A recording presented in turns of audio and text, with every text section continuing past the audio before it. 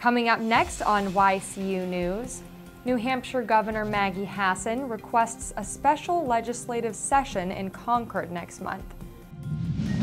New Hampshire plans to help government employees keep their jobs in spite of the shutdown.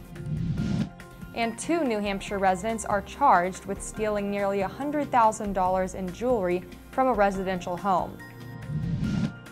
For more news, weather, and sports, it's time for YCU, your local view. Now, your daily digest of the Dartmouth Lake Sunapee region and central Vermont. News, sports, weather, public affairs, and all that's happening in our area. The news on YCU, your local view.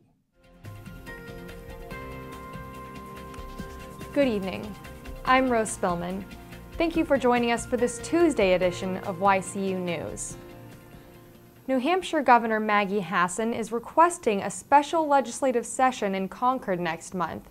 Hassan said today that she will ask the Executive Council to support calling state lawmakers back into session November 7th through the 21st. Hassan's request follows a bipartisan report recommending the state accept $2.5 billion in federal funds to expand Medicaid. If the state accepts federal funds, more uninsured New Hampshire residents would be able to afford health insurance. Subsidies would help low-income residents pay a portion of their health insurance costs. The federal subsidies would last for three years and be fully funded. After that, federal funds would cover 90% of these insurance costs. The five-member Executive Council meets Wednesday. The Executive Council represents citizens who live in each of the councilors' respective districts. Lawmakers in Washington, D.C. are still at odds with each other, and the federal government shutdown continues. In New Hampshire, though, plans are underway to help state employees funded by some federal programs to keep their jobs. Governor Maggie Hassan and the State Employees Association are under agreement to allow furloughs instead of layoffs for these workers. Hassan calls the federal government shutdown as senseless and an act affecting New Hampshire families and the state's economy. Hassan and State Employees Association President Diana Lacey worked together to find a local solution to the national problem. Furloughs would at least allow these employees to keep their jobs even as they are not paid for their work. A Northfield, Vermont educator is the state's Teacher of the Year. Northfield Middle School teacher Luke Foley is the teacher chosen from among 49 nominations. Foley and two other teachers were named finalists for the 2014 award a week ago. Vermont Education Secretary Armando Villaseca made the announcement this morning in Montpelier. Foley teaches students in an alternative education program at the Northfield Middle High School.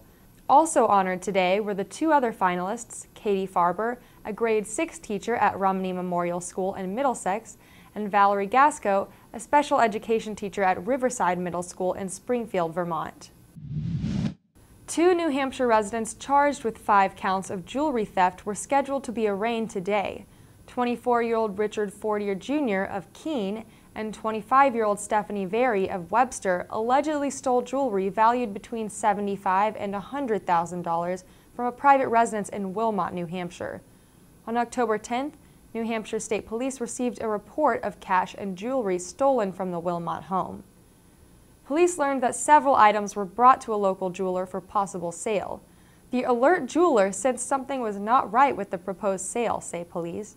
The jeweler, whom police did not name in a press release, notified police after Fortier had left the store.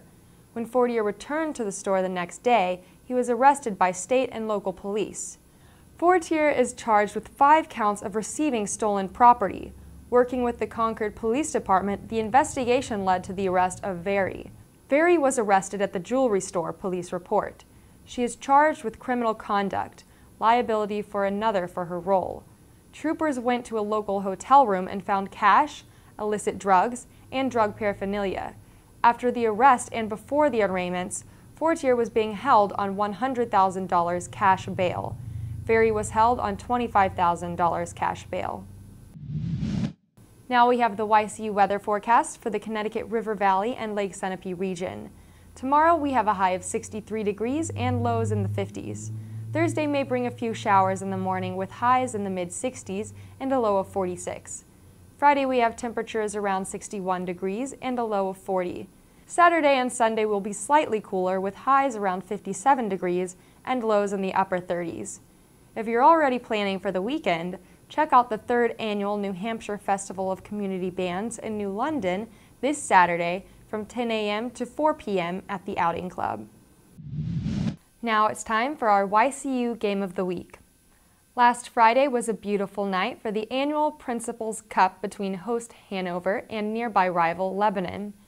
The Raiders were fired up before the game, trying to reverse a long losing streak to Hanover. After forcing Hanover to punt on their first possession, Lebanon's Austin Pelletier returned the punt 44 yards to give Lebanon great field position. A 33-yard field goal gave Lebanon the early lead. Later in the first quarter, reserve quarterback Joe Flanagan, number 43, hits number 88, Austin Pelletier, for this 80-yard touchdown pass to give the Raiders a 10-0 lead. Following an interception by Lucas Giroux, Lebanon's number 24, Nevin Kapazinski, sprints 93 yards to put the Raiders on top 17-0. Lebanon running back Nevin Kapazinski rushed for 136 yards on nine carries for the game. In the second quarter, Hanover's quarterback Sean Cavallero gets the Marauders on the board, much to the delight of the Hanover fans. At halftime, the Hanover Youth Football 7th and 8th grade and the 4th, 5th, and 6th grade teams were honored at midfield. In the second half, Hanover's Sean Cavallero sprints 27 yards to cut the Lebanon lead to 27 to 15. A late game field goal by Lebanon's Grayson Hardy, his third of the game, finished off the scoring as Lebanon wins 30 to 14, winning its second Principals Cup in the last decade. The two-to-four Raiders travel to Laconia this Friday, while one-to-five Hanover visits Merrimack Valley also on Friday night. Here's a look at some of our local high school sports scores.